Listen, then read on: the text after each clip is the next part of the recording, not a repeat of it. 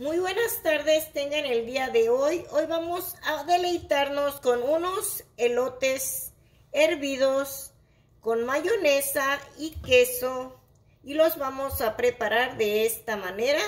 Vamos a ponerlos a hervir primeramente con sal. Una vez hervidos los elotes con sal, vamos a ponerlos en un platito para poderlos preparar los elotes tan calientitos y así los vamos a estar preparando los elotes este día. Vamos a ponerle mayonesa. Mayonesa se la vas a untar bien con una brochita que tienes en tu casa de la cocina. Le vas a untar bien el, la mayonesa.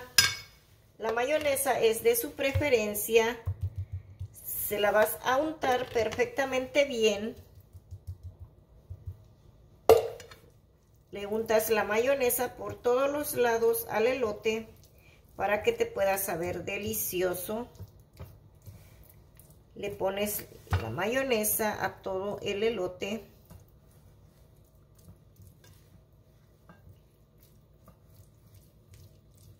Se lo untas bien. Una vez untado el elote, con la mayonesa le vas, lo vamos a preparar de esta manera. Nuestro elote le vamos a poner salsita. Vamos a ponerlo de este lado, ok. Vamos a ponerle el chilito o le puedes poner el quesito. Este chilito eh, me lo traen de México y es chilito piquín.